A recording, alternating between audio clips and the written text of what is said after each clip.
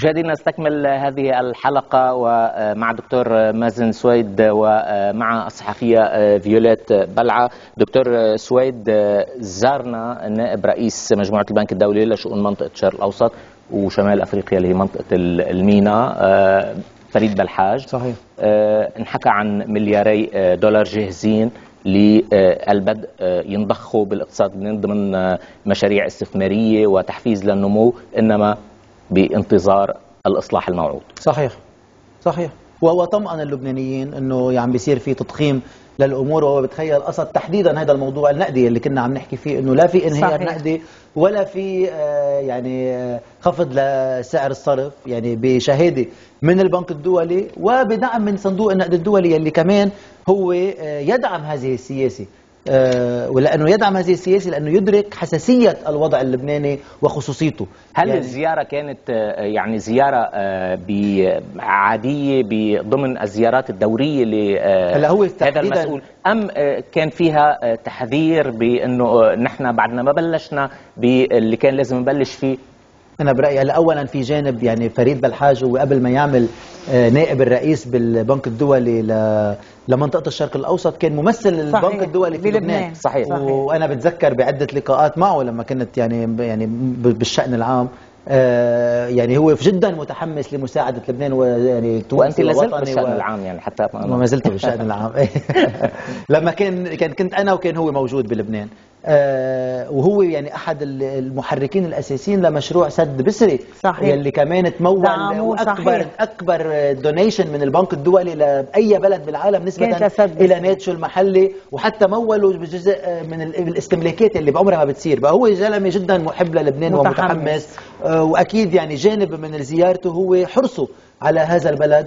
ورسالة أنا مأكد أنه يا جماعة ما فيكم تضلكم ناطرين نحبكم أكثر ما بتحبوا حالكم تفضلوا بلشوا آه، آه، اتفقوا اعملوا حكومة نفذوا اصلاحات وحرام تروحوا فرصة عطف وتعاطف المجتمع الدولي معكم. حتى هذا هو هذا, هذا التوجه اللي أصدقاء لبنان الناس اللي محبين للبنان قد بعد في آه، ناس يمثلوا ما يمثلوا بالمجتمع الدولي ولهم صلات وعلاقات وعلى اتصال بدوائر القرار بالعالم. قد بعد في ناس حتدعم لبنان إذا لبنان مثل ما تفضل الدكتور سويد لم يدعم نفسه.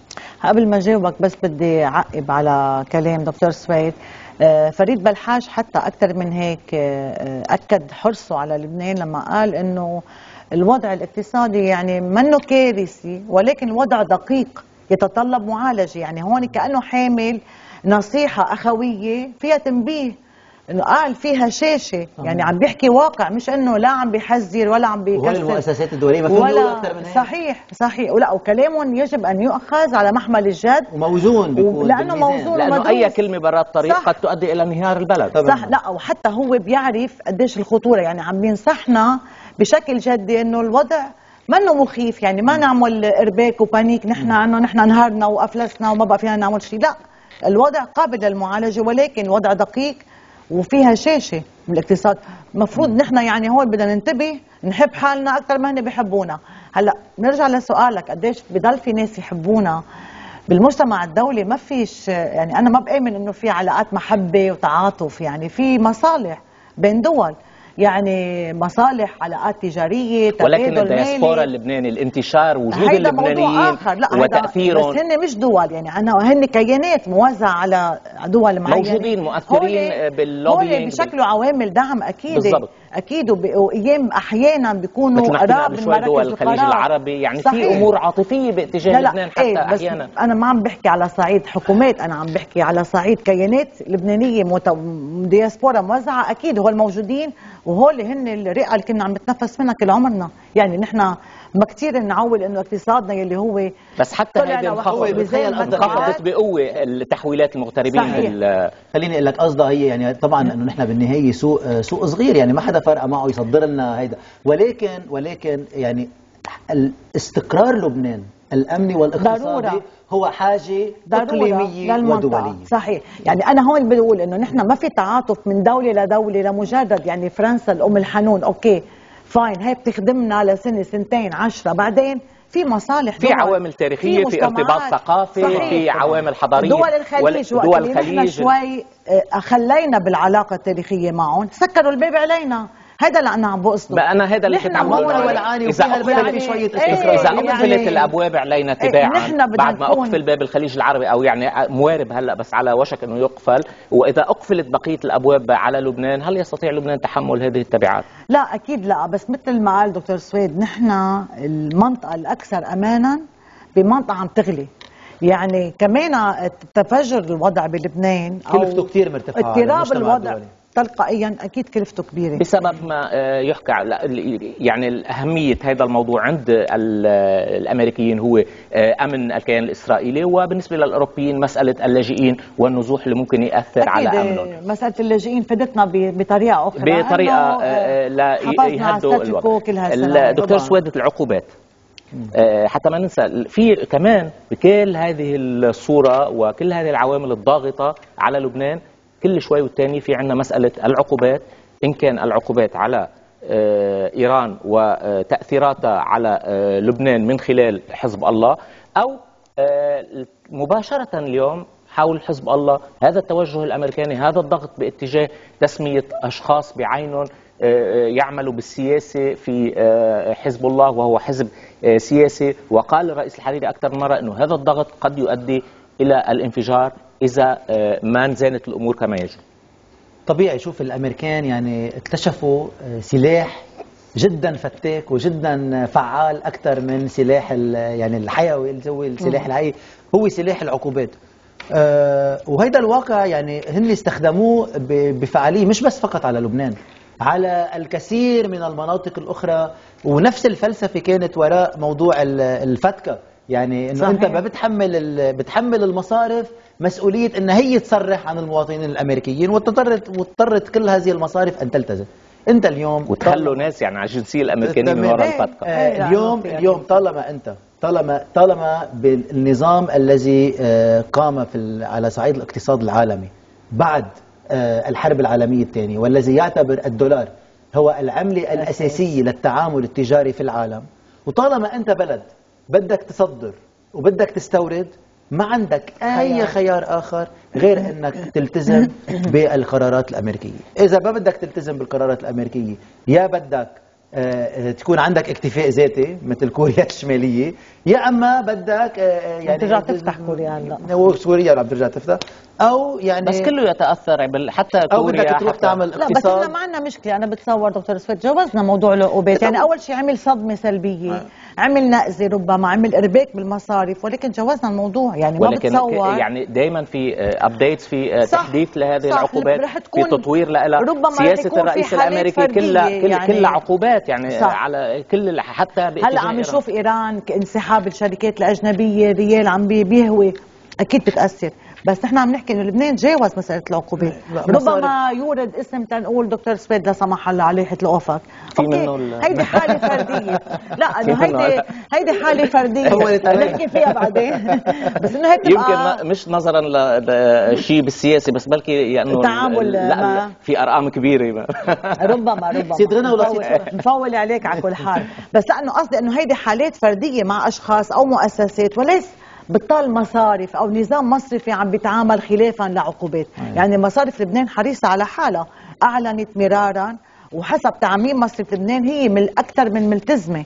فما عندنا أي مشكلة. وطالما نحن ضابطين مسالب الأموال وعارفين من وين لوين عم بتروح. هلا الأمريكان حابين يضايقوا على لبنان أكثر. نحن ما فينا نشكل عليهم عم بدك تشوف هذا الموضوع شوي كمان. هذا بالضغط من السياسة إيه، من منظار عالمي وليس فقط صح. من منظار لبنان يعني أنت اليوم في عندك محمد آه، يعني مصارف عالمية مصارف عالمية خرجت من أسواق أساسية مثل تركيا ومثل البرازيل ومثل أفريقيا. وأنا بتذكر من سنتين كنت عم بحضر اجتماعات صندوق النقد الدولي اجتماعات السنوية للصندوق والبنك الدولي بواشنطن.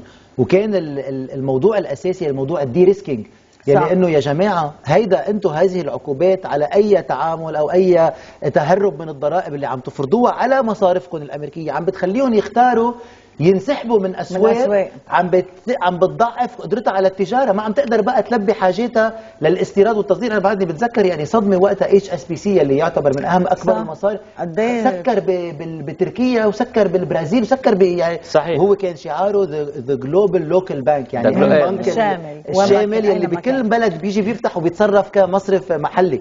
بقى هيدا موضوع بتخيل يعني حتى في الغرامات الخيالية اللي عم يدفعوها الخيالية يعني 800 مليون إيه، دولار تماما مليار دولار بدك يعني تشوف الجو إيه يلي تحول عالميا بالسياسة العالمية ضد المصارف منذ الأزمة المالية العالمية يلي إجت المصارف بالنهاية تسببت فيها صح. وتم إنقاذها من خلال ال taxpayers' money من. خلال دافع الضرائب آه. وأصبح إنه بالنهاية أدرك المواطن الأمريكي والأوروبي إنه والله شيء حلو يعني لما يربحوا هن بيربحوا لما يخسروا أنا اللي بدي أدفع. بدفع عنه بس مش مبالغ فيه هذا الأمر كمان بلبنان آه، يعني أصبحنا باتجاه كل شيء بلبنان يبالغ فيه. كل شيء بلبنان يبالغ فيه. مثل ما قالت جولات هذا الموضوع يعني تم التعامل معه بحكمة كبيرة من قبل المصرف اللبناني ومن قبل جميع السياسيين اللبنانيين. جميعهم يعني أكيد. بدون أي استثناء. صح. حتى يعني يعني كانوا هن آه، منطالين من بهالعقوبات والكل مدرك إنه بالنهاية أنت ما عندك حل. لنهار تصير أنت قادر تعمل اكتفاء ذاتي وتسكر حدودك. لا أكيد. مستحيل. ما عم نحكي ب 17 مليار دولار. بدك 170 سنة طلع 17 مليار دولار. إيه. كيف بدك طلع اقتراحات إنه بنتخلى عن الدولار لمصلحة اليورو. بس هذا كلام كله تنظير. عمليا أنا بعتقد انه في دول هل, هل استطاع أحد هل استطاع أحد من الدول أساسا الكبرى التخلي عن الدولار؟ لا لا خليني أقول لك خليني أقول لك خبريه أنا هيدي قدامي صارت. قدامي صارت. كنت بمرة بمؤتمر وكان في آه، جون كيري عم يتحدث وقتها بعز deal يعني الاتفاق وزير الخارجية الأمريكي وزير الخارجية الامريكي السابق وعم بشجع وكان وقتها بعد بالمؤتمر كان في مصارف آه، أوروبية. وعم بقول كيري للمصارف الأوروبية إنه أنتم يا جماعة لازم تروحوا وتمولوا الاستثمارات بإيران لأنه نحن عملنا اتفاق نووي وهذا عم بيشجع عم بيطلع أحد المصرفيين الأوروبيين المهمين يعني عم تحكي CEO بيقول له أنت بتحكيني هالحكي ووزير ماليتها كان وزارة الماليه الخزينة الأمريكية هي اللي بتفرض عقوبات. بيجي بخوفنا إنه إذا بتروحوا بتمولوا بتفرضوا علينا عقوبات بتمنعوا البنوك الأمريكية تتعامل معنا وبالتالي بيصير علينا خطر. روحوا أنتم يا أمريكان اتفقوا بين بعضكم بين وزير الخارجية ووزير الخزينة شو بدكم وخبرونا نحن لن لن نقوم بهذه الخطوات اللي بتهدد هذه المصارف الأوروبية عم تحكي. صحيح. يلي هي اليورو واللي هو ثاني أهم عملة بالعالم. هذا التناقض التاريخي مش ما بعرف إذا صحيح إنه هذا التناقض التاريخي بين ال administration الإدارة وبين ال establishment اللي هي المؤسسات والقوى الحاكمة بأمريكا يؤدي إلى هذا التضارب بكثير من الأحيان. أكثر من هيك وقت وقفوا العقوبات بعد الاتفاق النووي إجت الشركات الأجنبية والبنوك على إيران أقبلت للاستثمار والعمل بإيران. لما انسحب ترامب الرئيس الامريكي من الاتفاق النووي ورجعوا العقوبات هلا الأسبوع المقبل صحيح. اول أول موجة صحيح. أول جولة من العقوبات وبعد شهر. انسحبت كل الشركات والبنوك يعني ما حدا بيقدر مع العلم إنه قالوا إنه في السياسة الاتحاد الأوروبي ما قدر ينسحب إلا إنه في كل صحيح. توتال وغيرها من في كل وزير خارجية أمريكي شهير بيقول لهم the dollar our currency your problem. يعني هي عملتنا ولكن هي مشكلتها ولكن هي ما بيقدر يعني ما بيقدر الواحد يشوف آه، مسألة العقوبات وبده يواجهها. آه، إذا عم نحكي على صعيد أوروبا واتحاد أوروبي وشركات عملاقة وبنوك عملاقة ما ما فيها تواجه ما حدا بيقدر ما بيقدر لبنان. بالنهاية السنترال الحاكم الناظم للمال هو المسيطر على السوق العالمية. حتى اشعار آخر حتى اشعار الولايات المتحدة الأمريكية. ما بيقدر الواحد. سنترال أو السنترال العالمي لقياده العالم في المال والاقتصاد وفي السلاح إلى حد كبير أيضا. آه، بعد الفاصل مشاهدينا بالمحور الأخير نحاول إضاءة على مسألة التحركات المطلبية والإضرابات المتوقعة إلى أين وفي الدقائق الأخيرة أزمة الإسكان والعقارات إلى انهيار في لبنان. هل صحيح هذا الأمر؟ بعد الفاصل.